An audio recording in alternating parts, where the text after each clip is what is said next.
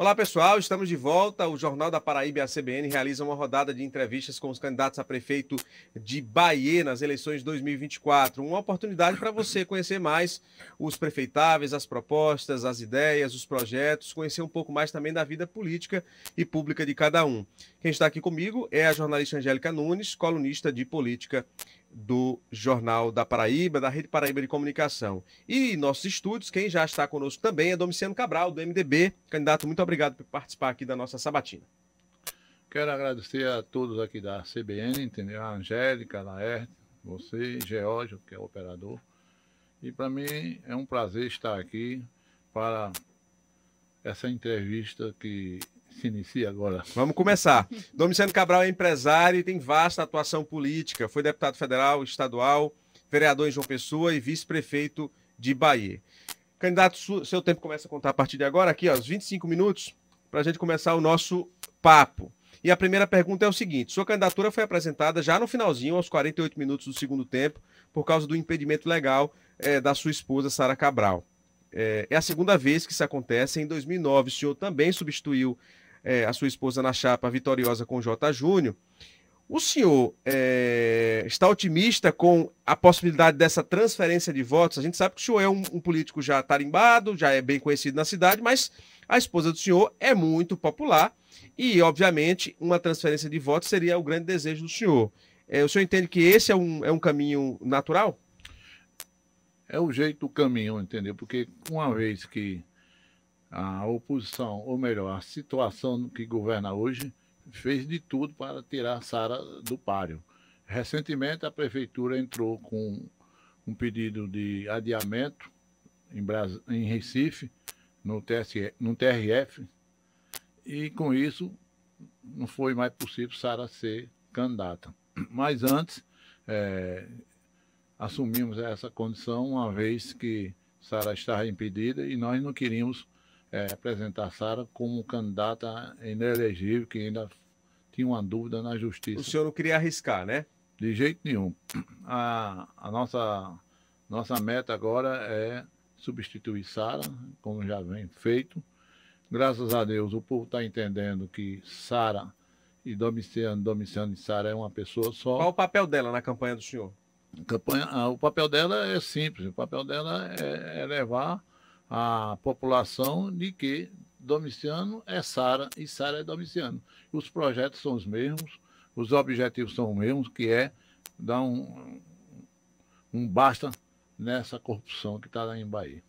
Angélica. É, candidato, tem uma realidade que inclusive é da região metropolitana de João Pessoa, mas é, em Bahia tem pedido de tropas federais autorizados né, pelo Tribunal Regional Eleitoral com essa preocupação de interferência nas eleições. O senhor está com a campanha na rua, né? Desde o dia 16.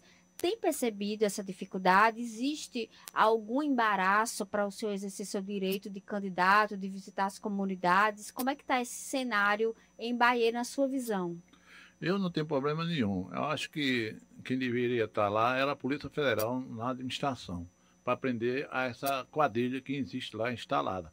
Quanto à nossa ida nas comunidades, estou tranquilo, não estou tendo problema nenhum. Mas na administração, sim. Candidato, o senhor fala é, em quadrilha e de alguma forma acusa, obviamente, a gestão atual. O senhor já fez alguma denúncia ao Ministério Público, à Polícia Federal, sobre esse suposto esquema que o senhor está levantando aqui na entrevista com a gente?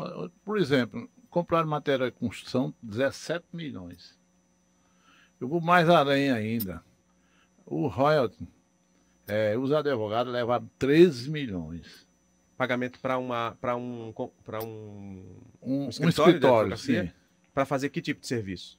É, é, para receber o royalty, que é, um, é uma coisa já certa de receber. Carimbada. Essa é. denúncia já foi feita? Está tudo, essa, essas denúncias já estão todas formalizadas e esperando que a justiça é, declare como é, o seu trânsito julgado. Nós temos aqui um exemplo. Uma escola no Mário Andreas, a Escola Municipal Maria do Carmo, ela foi feita uma reforma de 2 milhões e 300. É, inclusive, é, o, o TCE mandou suspender os pagamentos e tirar essa empresa. Essa empresa é de Manaus. Bahia é uma, uma coisa interessante. Tem empresa de Manaus, do interior, tem de todo canto. Depende de quem realmente entra no esquema é, da administração. Tem outro contrato para é, é, sanitização da, de vários órgãos, nove. Gastaram quase 120 mil reais. Isso é o que está acontecendo em Bahia, os desmandos. Quando a gente chama quadrilha, porque existe uma, uma quadrilha organizada, que só fazem mesmo é, ter a nota fiscal e, e não entregar. O senhor acha que isso está prejudicando a prestação de serviços? É claro, você para ter uma ideia, é, compraram de remédio cerca de 10 milhões de reais.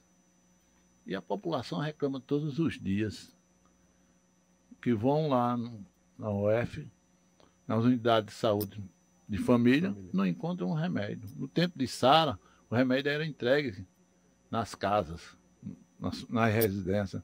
Você pode ter ideia, precisa sim, a, a, não só a Justiça, a Polícia Federal também ir atrás dessas empresas. Já que o senhor falou aí de, de, de, saúde, eu vou pegar o gancho para pedir que o senhor apresente propostas. Essa é uma das propostas do senhor para a saúde, voltar à entrega de remédio em casa, e que outras ações o senhor pode é, apresentar para a gente aqui, enquanto proposta, para melhorar a situação da cidade, que a gente viu, por exemplo, que nos últimos meses houve fechamento de, é, de hospital, fechamento ético, né? Por conta Bom, de... a nossa, a nossa proposta na saúde é simples há 20 anos, é, todos que são prefeitáveis e assumem a prefeitura, diz que vai abrir o, o hospital.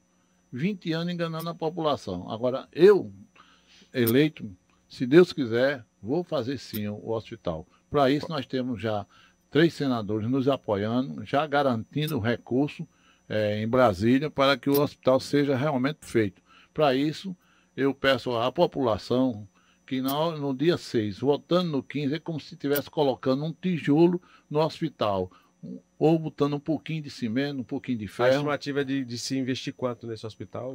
É, cerca de 80 milhões. 80 milhões para construir um hospital de quantos leitos? Bom, isso aí nós não levantamos ainda, não, mas é, a grosso modo 80 milhões, até porque eu não sou ainda o prefeito. É na hora que for o prefeito, nós temos um esboço já apresentado aí de como seria o hospital. Seria um hospital geral ou um hospital para atendimentos específicos? Porque há várias carências né, em Bahia. Muita. Seria um hospital geral, inclusive aclopando lá no hospital um centro de, de imagem de diagnóstico. Isso que a gente pretendemos fazer.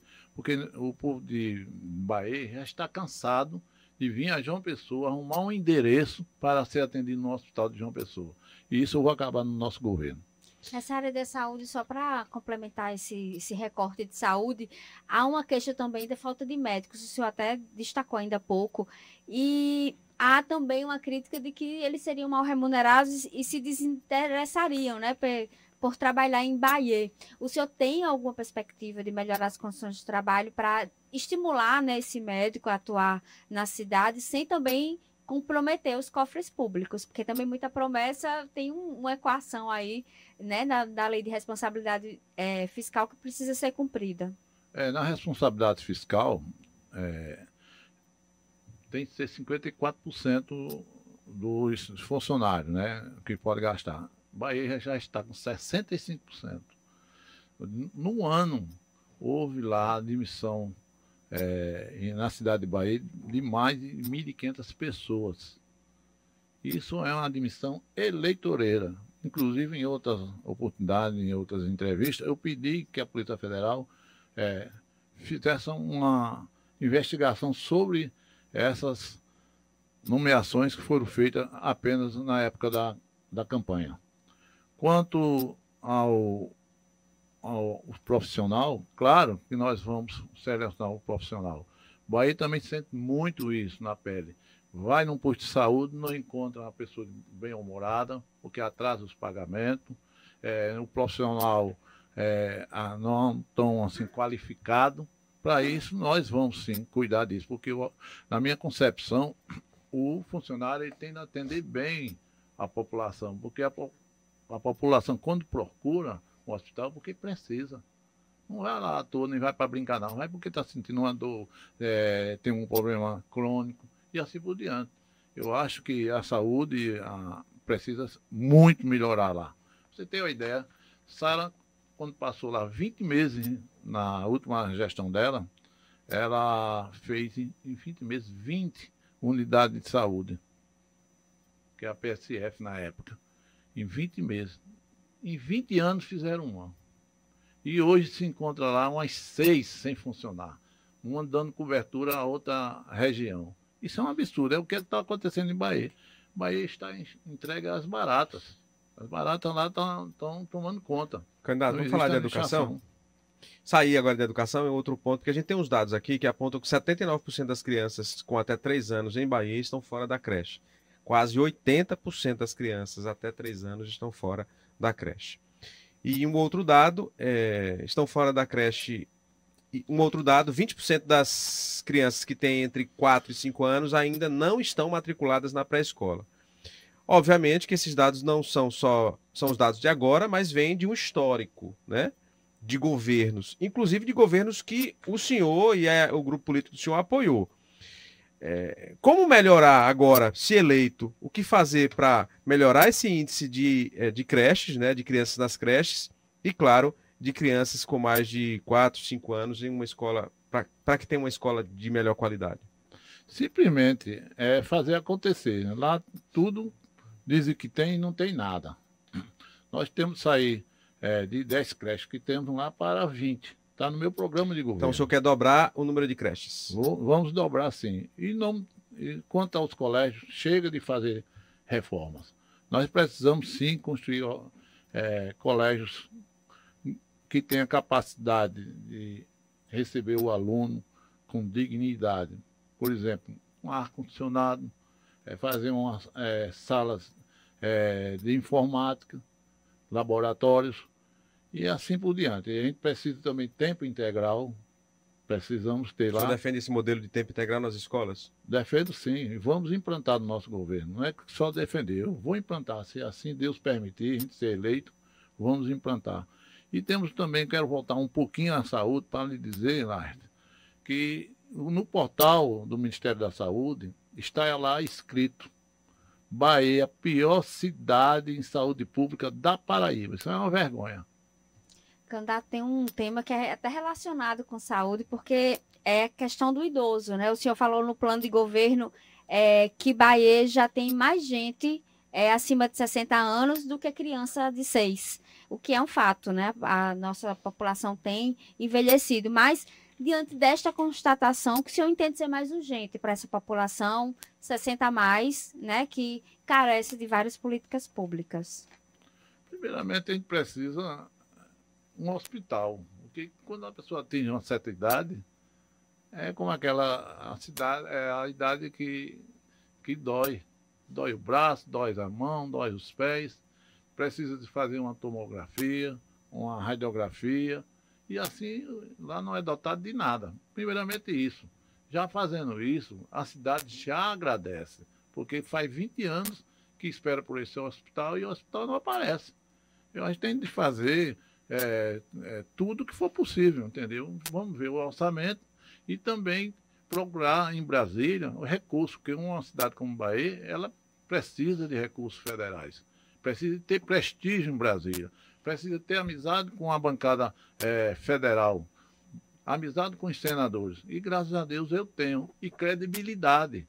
Porque se não tiver credibilidade, nenhum senador, nenhum deputado federal coloca recursos para uma cidade onde vai haver desvio de recursos. O senhor não confia no republicanismo das esferas de poder? O senhor acha que precisa o prefeito ser amigo de um parlamentar para conseguir recursos em Brasília? Não, porque precisa não é ser amiga, é ter é, gozar da confiança. Como é que eu sou um deputado federal, vou colocar para um, um município que o dinheiro não vai atingir a população? O objetivo não vai ser alcançado. Como estava vendo aqui, como eu mostrei, comprar 10 milhões de remédio. E a cidade só que reclama é remédio que não chega num posto de saúde. Num posto de saúde. É isso que é o problema. Você não pode dar dinheiro a um município que vai ter má gestão, que a pessoa chegue lá e vai fazer o desvio, onde tem uma quadrilha. Ninguém faz isso. Candidato, o senhor propõe no plano de governo instituir o orçamento participativo como um processo anual, né? Significa o cidadão é, interferir diretamente na, é, nas políticas públicas, nas obras, é isso que o senhor está falando de um plano de governo? É, no plano do governo nós já fizemos isso, nós fizemos já um, um estudo, entendeu? Colocamos uma, uma equipe para andar nos bairros e nós, em cima disso aí, nós construímos nosso plano de governo. Mas o senhor acha, esse, esse orçamento participativo que o senhor propõe, o orçamento é, com a população, significa fazer aquelas audiências, depois de eleito, por exemplo, fazer audiências para que a população escolha as obras ou que a população possa interferir no, no, na distribuição dos recursos do orçamento? É, é, isso? É isso que acontece na Paraíba, acho que há cerca de 10 anos, e está dando certo. Tudo que é possível, o que está certo, o que é bom para a população, eu não tenho vergonha de dizer que eu vou copiar, não. Então o senhor entende certo? que aquela decisão de gabinete já não, é, já não vale mais quando você tem uma política, um, um formato de, de, de, gestão é em que não... a, a, colaboração da população é, é, importante. É importante, é como você vai ajudar uma, uma, uma, família, uma pessoa da sua família, você vai levar lá uma geladeira para dar lá, uma hipótese. Mas se ele não está precisando da geladeira, ele está precisando do fogão. E assim por diante. É como você vai levar para um bairro você vai levar um equipamento, assim, um colégio. Lá não é mais importante o colégio, que lá está tá sendo bem atendido. É importante o quê? É um PSF, é importante um restaurante popular, que está dentro do nosso projeto também. Quantos, quantos restaurantes o senhor vai fazer? Não, eu pretendo fazer pelo menos um. Pelo menos um. Tem é, nenhum lá? Lá tem um, existe um no, na Avenida Liberdade e quero fazer outro ali pelo Mário Andreas, onde tem uma população de quase 16 mil pessoas é, é maior do que várias cidades que tem na Paraíba. E o senhor acha que é, o restaurante popular pode ajudar em, em quê? A alimentação. Bahia tem muita gente passando fome. Passando fome. E o negócio não é brincadeira, não. Quem anda nas comunidades sabe o quanto o povo está sofrendo. O povo está sofrendo muito, sem, sem ter a responsabilidade de quem governa para é, atender na área social, é, programa de sopa que Sara dava na época, né, programa de pão e leite que Sara conseguiu também na época, tudo isso tem de voltar. O que falta em Bahia é gestão. Falta a gestão. As pessoas que estão lá só pensam em fazer o mal. Candidato, o senhor estava participando do processo político em Bahia nos últimos anos com a gestão, como opositor mesmo, assim, eu estou perguntando como opositor, na gestão de Luciane Gomes e naquele período em que houve uma, uma, uma certa, não, que houve de fato uma insegurança político-administrativa na cidade, com vários prefeitos. O senhor, qual era a atuação do senhor nessa época? Ou não estava atuando? Não, não eu, eu, não, porque eu não sou vereador. Ali quem de interesse é grupos de vereadores. Mas Foi o senhor que... não tinha um grupo específico que estava alinhado, não? Não, porque o, os vereadores se juntaram lá e fizeram a arrumação, como se diz, né? Eles escolheram um, um escolheu a, a, a Fofia, né? A, a Luciene, e colocou ela lá. A gente, quem, quem votou foi a, a Câmara Municipal. Esse então, distanciamento da, da vida política lá, propriamente dita, prática, não prejudicou o grupo do senhor agora, nesse momento, nesse retorno? O senhor não, acha que isso pode ao acontecido? Ao contrário, não. Não prejudicou nada. Ao contrário, o povo sentiu a falta de gestão de quem realmente quer bem a cidade e realmente quer ter compromisso com o povo. Para mim, eu acho que isso já é o bastante gozar da confiança do povo de Bahia. Angélica. Candidato, o senhor falou de uma preocupação com a população, né, que depende muito e, e não tem condições de trabalho. Eu queria saber se o senhor tem alguma ideia de como melhorar a vida das pessoas que não estão ocupadas formalmente, principalmente. A gente tem até um dado do IBGE que fala que 17,30% da população de Bahia, apenas essas, são ocupadas formalmente, com CLT, com emprego formal. E, e, aí deve ter uma infinidade de pessoas que vivem do famoso bico, né? Então, é, o que ideia o senhor teria como gestor público para melhorar as condições para tirar essas pessoas dessa vulnerabilidade ou principalmente da dependência do poder público? Nós vamos fazer o seguinte, lá um centro de profissionalizante, entendeu? Para que as pessoas se qualifiquem em várias é, profissões. Esse é o nosso objetivo.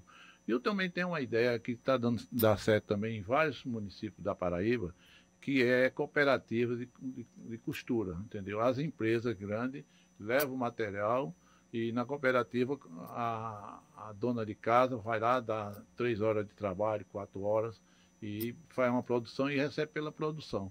Eu acho que isso é um modelo muito bom que vai ajudar a cidade. Pretendemos implantar isso lá. Tem uma modelagem que é aplicada em alguns governos, é que é linha, fornecer linhas de crédito. Como empreender já existiu no estado, no município, algum momento não deu muito certo, mas é, geralmente há essa possibilidade. O, o senhor entende que o poder público pode entrar nesse, nesse viés de fornecer linha de crédito para os pequenos empreendedores? Bom, vontade eu tenho sendo prefeito. Agora eu vou ver como é que está lá o cofre, né? Porque dizer que vai fazer é uma coisa, e fazer é outra. Qual é o orçamento de Bahia hoje, Domiciano? Rapaz, eu posso dizer com sinceridade, essa última vez eu não vi, não. Sabe? Não sabe ainda não.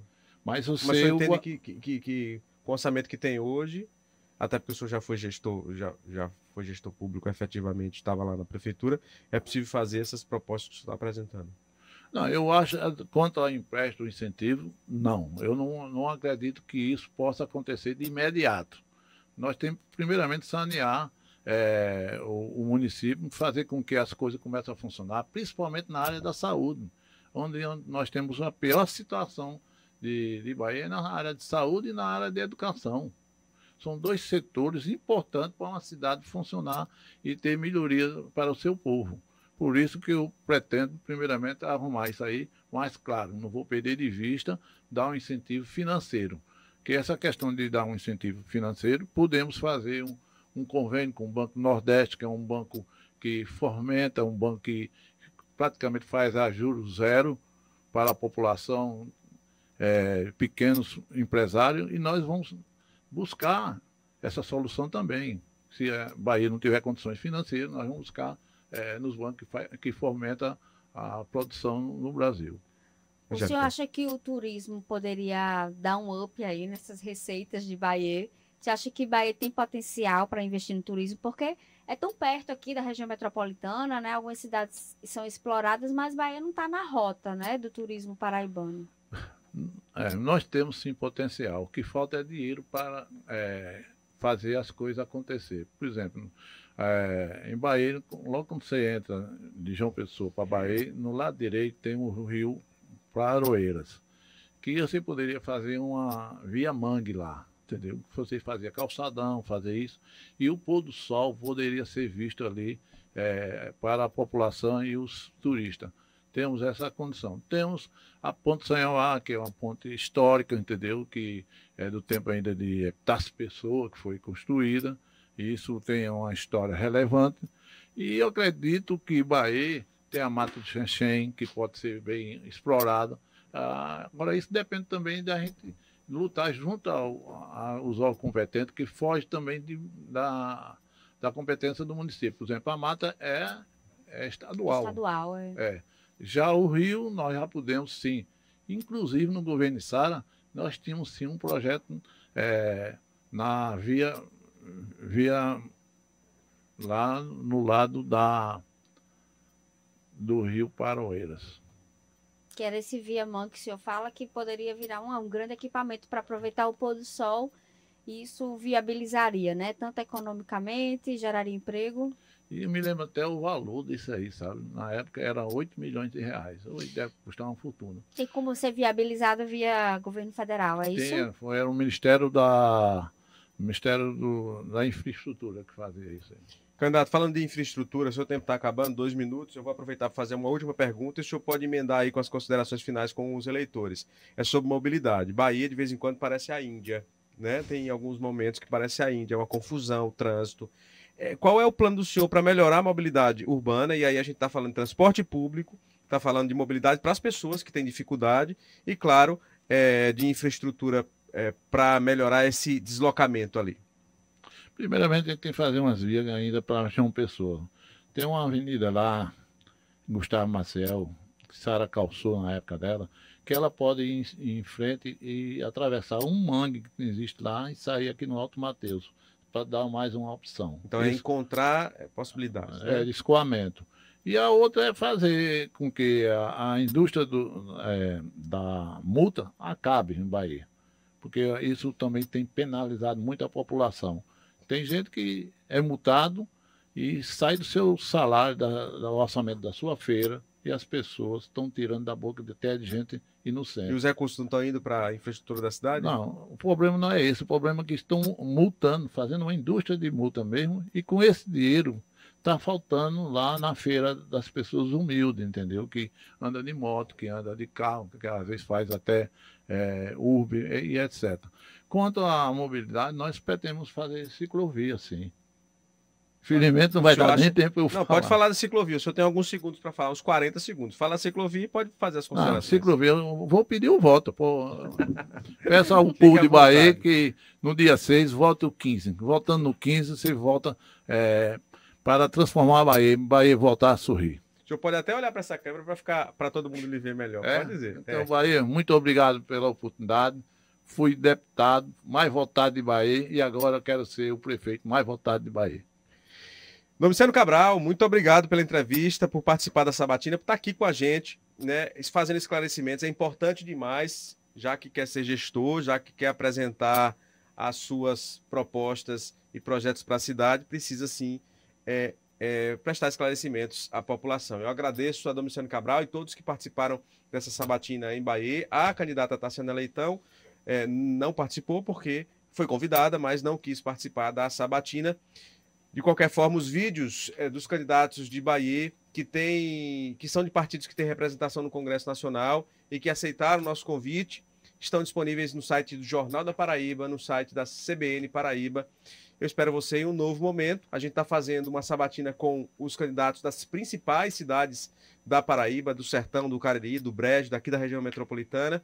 E você pode consumir esse conteúdo é, nos nossos é, portais Jornal da Paraíba, CBN e toda a repercussão dessas entrevistas você tem é, nas, nos veículos da Rede Paraíba de Comunicação. Muito obrigado.